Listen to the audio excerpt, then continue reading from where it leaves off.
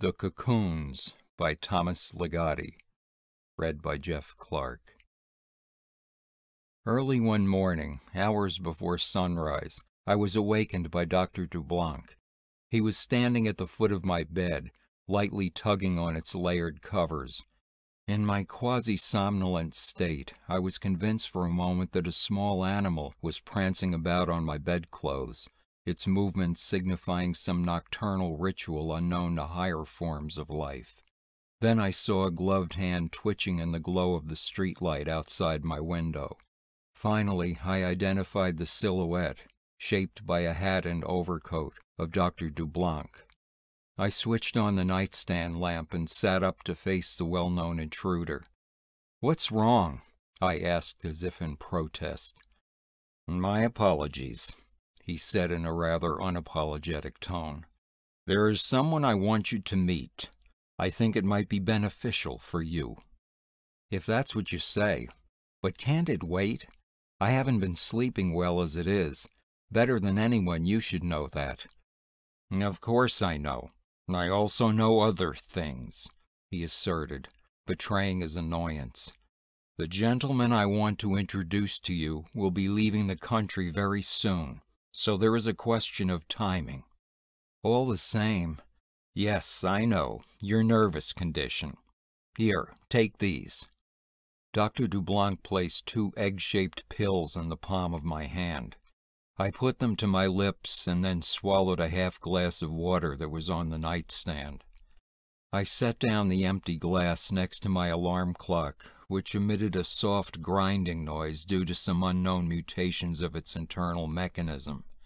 My eyes became fixed by the slow, even movement of the second hand, but Dr. Dublanc, in a quietly urgent voice, brought me out of my trance. We should really be going. I have a taxi waiting outside. So I hurried, thinking that I would end up being charged for this excursion, cab fare and all. Dr. Dublanc had left the taxi standing in the alley behind my apartment building. Its headlights beamed rather weakly in the blackness, scarcely guiding us as we approached the vehicle. Side by side, the doctor and I proceeded over the uneven pavement and through blotched vapors emerging from the fumaroles of several sewer covers. I could see the moon shining between the close rooftops, and I thought that it suddenly shifted phases before my eyes, bloating a bit into fullness.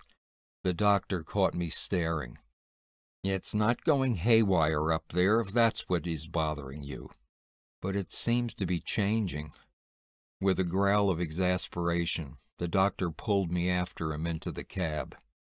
The driver appeared to have been stilled into a state of dormancy, yet Dr. Dublanc was able to evoke a response when he called out an address to the hack, who turned his thin, rodent face toward the back seat and glared briefly. For a time we sat in silence as the taxi coasted through a series of unpeopled avenues. At that hour, the world on the other side of my window seemed to be no more than a mass of shadows wavering at a great distance. The doctor touched my arm and said, Don't worry if the pills I gave you seem to have no immediate effect. I trust your judgment, I said, only to receive a doubtful glance from the doctor. Well, it would help if you told me why we're sitting in the back of a taxi at this hour. Just who are we going to see that's so important? What's the mystery? No mystery, the doctor replied. We're going to see a former patient of mine. Not to say that some unfortunate aspects do not still exist in his case. For certain reasons, I will be introducing him to you as Mr. Ketch, though he's also a doctor of sorts, a brilliant scientist, in fact. Primarily, I would like you to view a document relating to his work. A film, to be precise. It's something quite remarkable, and possibly beneficial, to you, I mean. That's all I can say at the moment. I nodded as if this disclosure had satisfied me. Then I noticed how far we had gone, almost to the opposite end of the city, if that was possible in what seemed a relatively short period of time. I had forgotten to wear my watch, and this negligence somewhat aggravated my lack of orientation. The district in which we were now traveling was of the lowest order, a landscape without pattern or substance, especially as I viewed it by moonlight. There might be an open field heaped with debris, a devastated plain where bits of glass and scraps of metal glittered.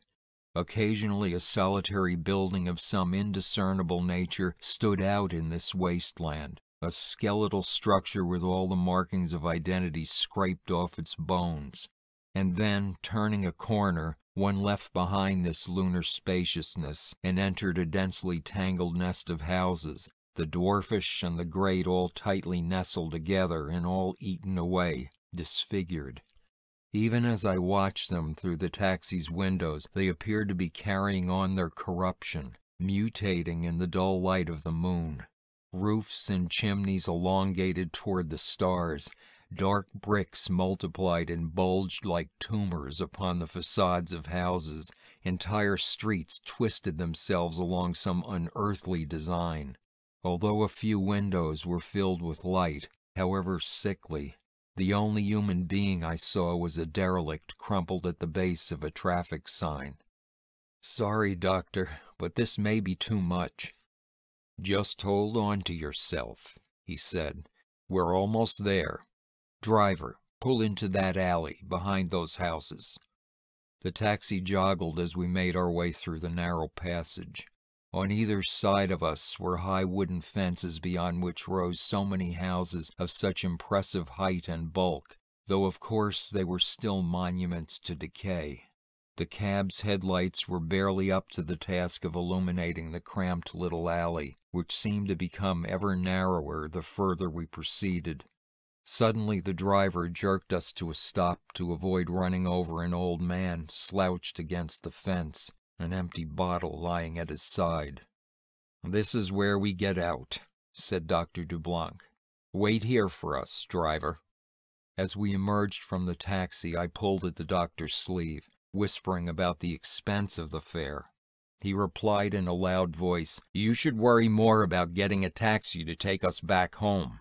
They keep their distance from this neighborhood and rarely answer the calls they receive to come in here. Isn't that true, driver?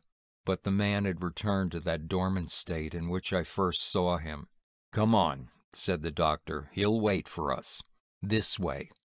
Dr. Dublanc pushed back a section of the fence that formed a kind of loosely hinged gate, closing it carefully behind us after we passed through the opening. On the other side was a small backyard, actually a miniature dumping ground where shadows bulged with refuse and before us, I assumed, stood the house of Mr. Ketch. It seemed very large, with an incredible number of bony peaks and dormers outlined against the sky, and even a weather vane in some vague animal shape that stood atop a ruined turret grazed by moonlight. But although the moon was as bright as before, it now appeared to be considerably thinner, as if it had been worn down just like everything else in that neighborhood. It hasn't altered in the least, the doctor assured me. He was holding open the back door of the house and gesturing for me to approach. Perhaps no one's home, I suggested. The door's unlocked. You see how he's expecting us? There don't appear to be any lights in use.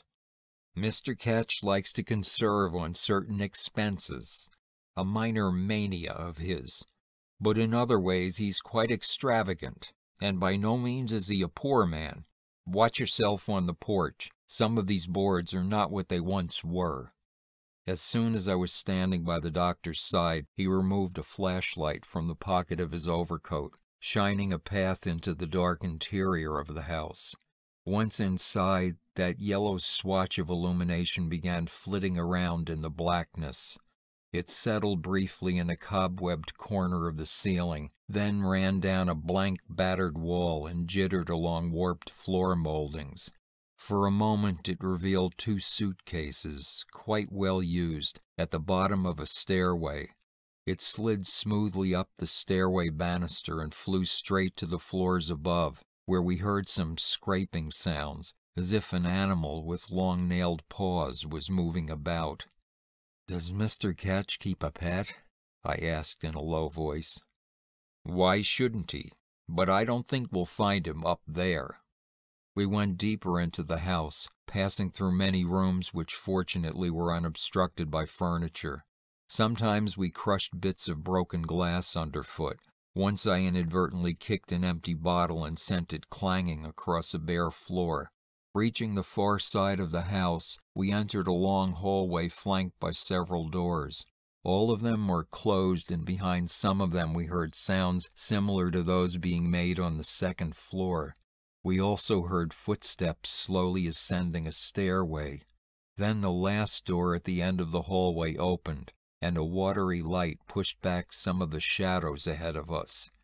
A round bodied little man was standing in the light, lazily beckoning to us.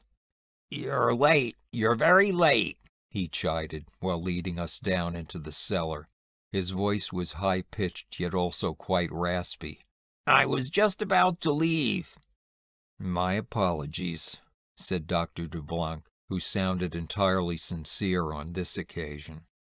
Mr. Ketch, allow me to introduce. Never mind that Mr. Ketch nonsense. You know well enough what things are like for me, don't you, Doctor? So let's get started. I'm on a schedule now. In the cellar, we paused amid the quivering light of candles, dozens of them positioned high and low, melting upon a shelf or an old crate or right on the filth covered floor. Among the surrounding objects, I could see that an old fashioned film projector had been set up on a table toward the center of the room, and a portable movie screen stood by the opposite wall. The projector was plugged into what appeared to be a small electrical generator humming on the floor. I think there are some chairs about that you can sit on, said Mr. Ketch as he threaded the film around the spools of the projector. Then, for the first time, he spoke to me directly. I'm not sure how much the doctor has explained about what I'm going to show you. Probably very little.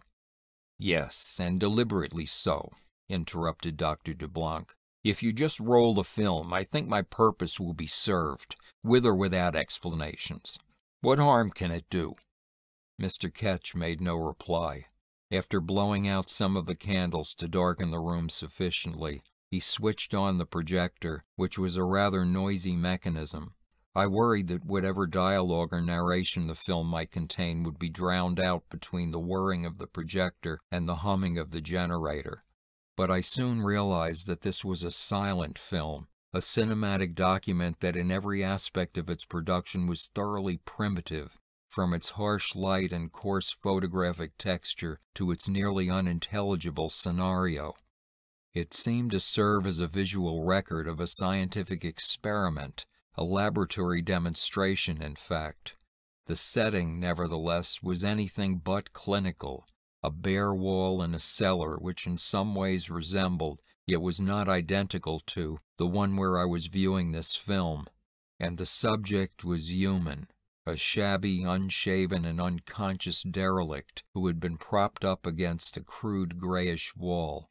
Not too many moments passed before the man began to stir, perhaps awakening from a deep stupor. However, the movements he made did not appear to be his own. More specifically, they seemed to be the spasmodic twitchings of some energy that inhabited the old tramp. One of his legs wiggled for a second, then his chest heaved and collapsed. Soon his head began to wobble, and it kept on wobbling, as if something was making its way through the derelict's scalp, rustling among long, greasy locks. Part of it finally poked upwards, a thin, stick like thing. More of them emerged, dark, wiry appendages that were bristling and bending and reaching for the outer world. At the end of each was a pair of slender snapping pincers. What ultimately broke through that shattered skull, pulling itself out with a wriggling motion of its many newborn arms, was approximately the size and proportions of a spider monkey. It had tiny translucent wings which fluttered a few times, glistening but useless, and seemed to be in an emaciated condition.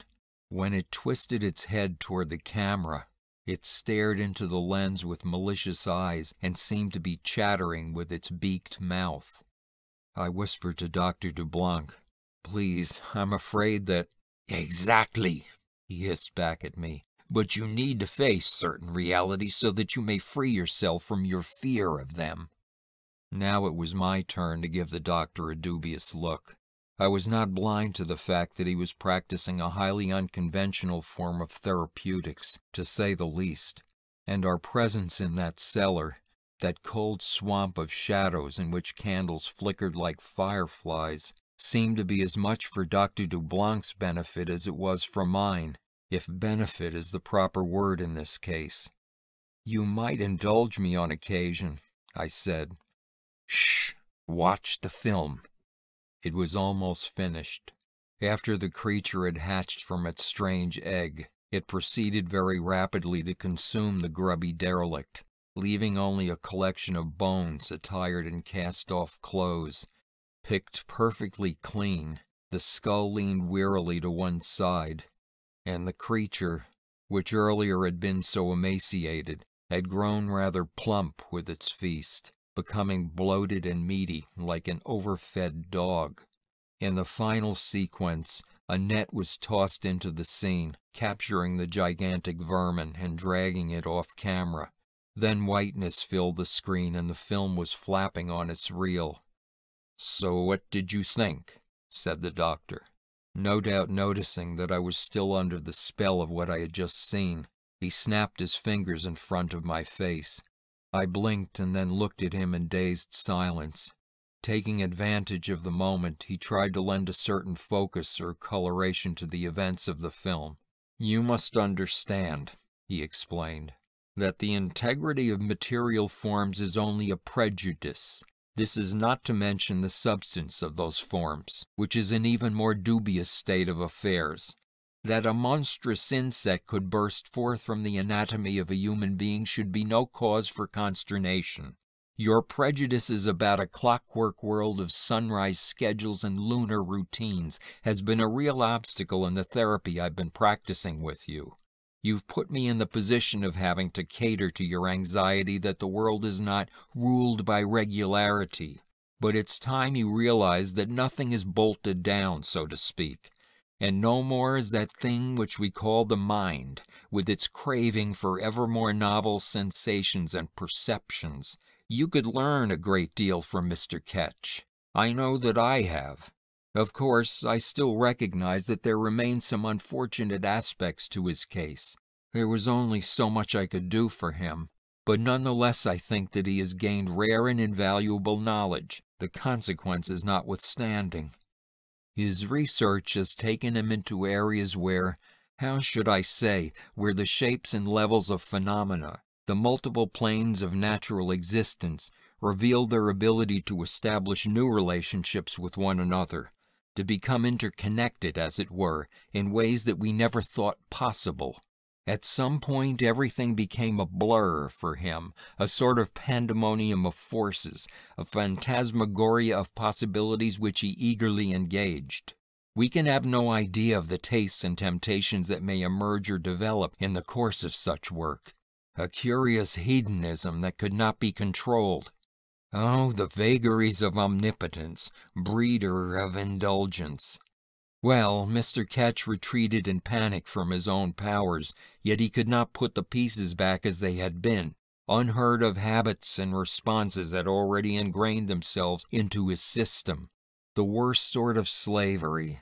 But how persuasively he spoke of the euphoria he had known, the infinitely diverse sensations beyond all common understanding. It was just this understanding that I required in order to free him of a life that, in its own fashion, had become as abysmal and problematic as your own, except that his pathology existed at the opposite pole. Some middle ground must be established, some balance. How well I understand that now. This is why I have brought you two together. This is the only reason, however it may seem to you. It seems to me, I replied, that Mr. Ketch has snuck out on us. Personally, I hope we've seen the last of him.